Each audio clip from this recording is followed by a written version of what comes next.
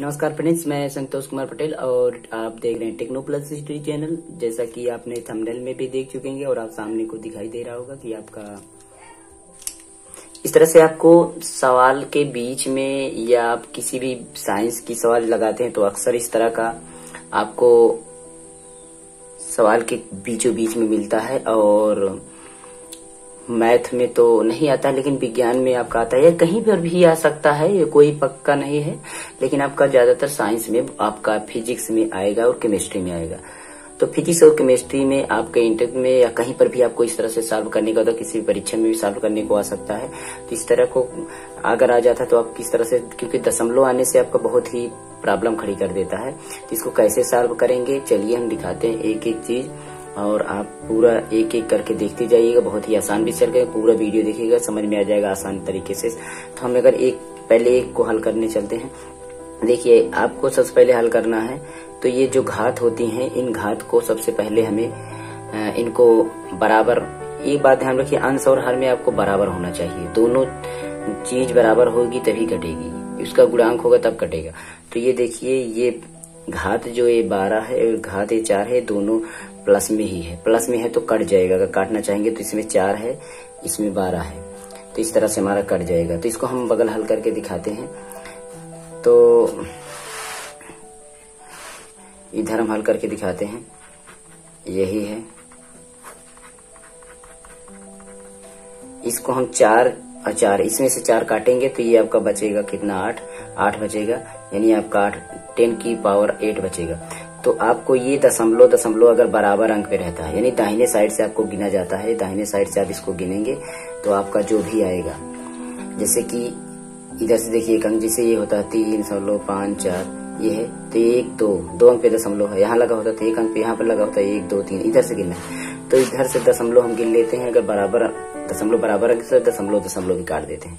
यानी ये दशमलव एक अंक पर, ये दशमलव एक पर, दशमलव से दशमलव भी काटा।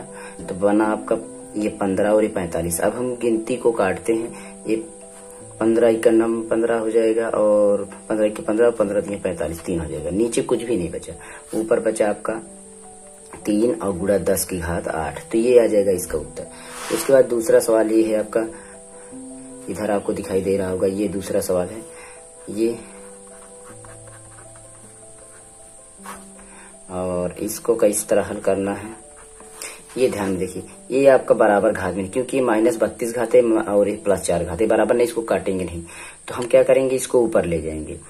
बराबर तो काट देते हैं, वो भी बिल से ऊपर ही जाता है प्लस, अगर आपका ऊपर से नीचे नीचे से ऊपर घात जाती है तो प्लस से माइनस माइनस से प्लस हो जाती है बात ध्यान में रखिएगा।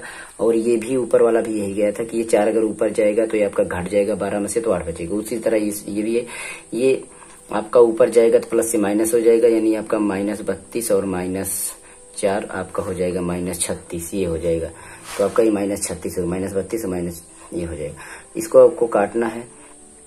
तो ये तो जान गए कि चार इधर जाएगा तो माइनस में हो जाएगा दोनों जुड़ जाएगा। ये दशमलव हटाने के लिए हम क्या करते हैं कि इसमें हमें हंड्रेड से गुड़ा करना है तो हंड्रेड का गुड़ा कर देंगे। इधर हम हंड्रेड का गुड़ा कर देंगे ऊपर। ऊपर जो का गुड़ा करेंगे, वही नीचे भी करना है। हर में भी अगर अंश में जितने गुड़ा करना है, उतना अंश में भी करना है, उतना हर में भी करना है। यानी जो काम हम हर में करेंगे, वो अंश में करेंगे, जो अंश में करना है, वो हर में करेंगे। यानी इसमें दशमलव एक, दो दो अंक से दो अंक के बाद है तो सौ से तीन अंक से है तो हज़ार से और एक अंक से है तो दस से इसी तरह गुणा करना एक, दो दो अंक सौ से गुणा करना यानी इसमें सौ से गुणा कर देंगे तो दशमलव हट जाएगा।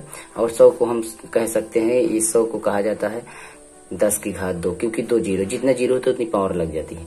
तो ये हमारा दस की घात दो बन जाएगा और बाहर से अपना दस की घात, ये देखिए इधर, बत्तीस और चार छत्तीस, ये माइनस छत्तीस, ये है ही, और नीचे बचा केवल नाइन, और इधर ये दशमलव हटेगा तो ये कट जाएगा। ये वैसे लिख दिए इसको ये रहेगा नहीं। ये आपका रहेगा नहीं। क्योंकि ये जब गुड़ा हो जाएगा, दशमलव हटेगा तो ये भी हटेगा। दशमलव हटता है तो वो भी हटता है इसीलिए। लेकिन नीचे आपका दो हो जाएगा। अब ये ऊपर जाएगा। ये ऊपर जाएगा तो ये भी आपका कितना बढ़ जाएगा? छत्तीस दो अड़तीस हो जाएगा।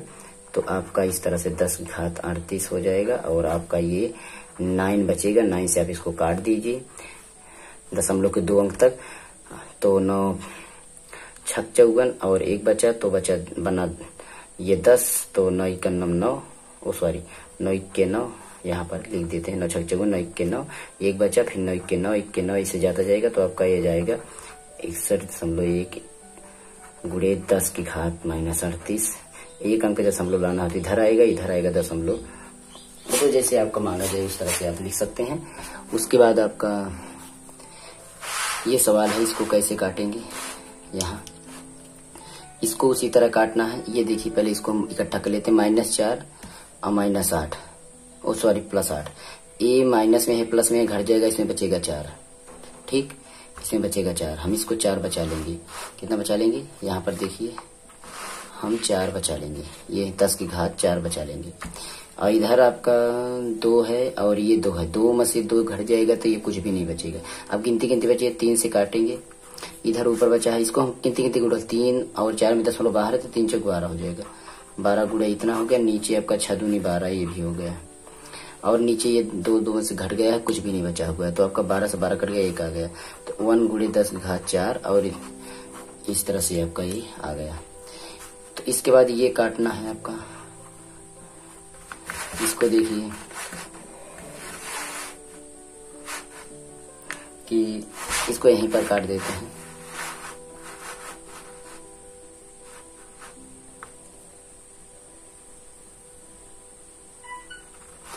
तो यहाँ पर काटने पर आपको देखिए, इसको दशमलव है, हटाना है तो सौ से गुड़ा करेंगे, और सौ से गुड़ा करेंगे तो इस तरह हो जाएगा। ये दशमलव हटेगा दशमलव ये दशमलव हटाने के लिए आपको सौ से गुड़ा करना पड़ता है और सौ से गुड़ा करते हैं तो सौ भी हट जाता है दशमलव भी हट जाता है। लेकिन अंश में गुड़ा करते हैं तो हर में भी गुड़ा होता है हर में तो काम दोनों में करना है। तो इस तरह से आपका ये सौ और एक सौ और हो जाएगा ऊपर वाला जो गुड़ा किए हैं।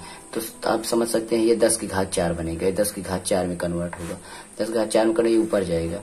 तो नीचे कोई गिनती है ही नहीं तो ये आपका दस की घात चार में ऊपर हो जाएगा। इस तरह भी लिख सकते हैं। हम्म, कोई दिक्कत नहीं है। और दशमलव लगाना हो तो इसमें से घट जाएगा दशमलव यहाँ पर लगा लगा लेंगे ठीक है एक एक करके।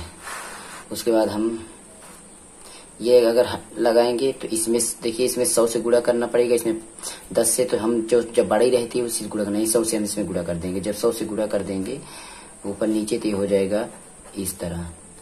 और अपान, आपका ये हो जाएगा इसमें एक दस का गुड़ा होना चाहिए था, सौ का हो रहा है तो एक ज़ीरो इसमें बढ़ जाएगा, और एक दशमलव एक दशमलव हटाने के लिए काम किया और एक ज़ीरो बढ़ गया। तो इस तरह से इसका भाग कर लेंगे। जब भाग करेंगे तो आपका कुछ भी दशमलव में जो भी आएगा, ये आप इसको भाग कर सकते हैं, चार सौ पचास भागे आप इसको भाग कर देंगे इस तरह भी कर सकते हैं, दो दो, एक, और ये भाग लगा करके चार सौ पचास इधर करके भाग कर सकते हैं। और नहीं तो आप किसी भी से भाग कर सकते हैं, अपना भाग कर ये देखिए इसमें आपका अगर करेंगे गुड़ा तो ये इधर सौ का गुड़ा होगा। ऊपर और इधर सौ का गुड़ा होगा। तो ये आपका बन जाएगा। इतना और ये बन जाएगा आपका 420 इसका गुड़ा करेंगे। तो दशमलव में आएगा, इस तरह से काटते हैं। और एक भी ध्यान के रखिएगा। ये अगर आपका ऊपर से नीचे जाता है तो प्लस में घात हो जाती है, माइनस में घात हो जाती है। ये जैसे जैसे ऊपर नीचे होते हैं, यानी अपने स्थान चेंज करते हैं तो प्लस माइनस में आपका चेंज हो जाता है। तो इसमें आपको अगर इस तरह की कोई भी सवाल आती है तो हल करने के लिए सबसे पहले आप घात को काट लीजिए, उसके बाद इन, इनको दशमलव को हटाने के लिए आप गुड़ा कर लीजिए। कुछ इन तरीकों से आप काट लीजिए, या आसान से कट जाएगा। तो अगर अधिक गुड़ा रहे तो आप गिनती गिनती का गुड़ा कर लीजिए। ऊपर नीचे डायरेक्ट एक एक एक बार में ही भाग दे दीजिए। आपका जो भी आना होगा आ जाएगा। तो ये था इतना आपका। बाकी अगली वीडियो फिर लेकर गए तब तक आपको हमारे चैनल पर वेट करना है और बहुत जल्दी वीडियो लेकर आएँगे इस तरह से काटने की और तरह तरह की। तो सिक्स से लेकर के ट्वेल्थ तक के क्लास की वीडियो हम डालते रहते हैं हाई स्कूल इंटर संबंधी और एनसीईआरटी के सिलेबस को। मोबाइल और कंप्यूटर संबंधी वीडियो कुछ जॉब्स से रिलेटेड न्यूज़ और आपका योजना से रिलेटेड न्यूज़ न्यूज़ भी लेकर आते रहते हैं। तो फिर आप इसको अगर लाइक कर दीजिएगा और चैनल को सब्सक्राइब और शेयर कर दीजिएगा वीडियो ओके चलिए। अगली वीडियो में फिर मिलेंगे। नमस्कार जय हिंद।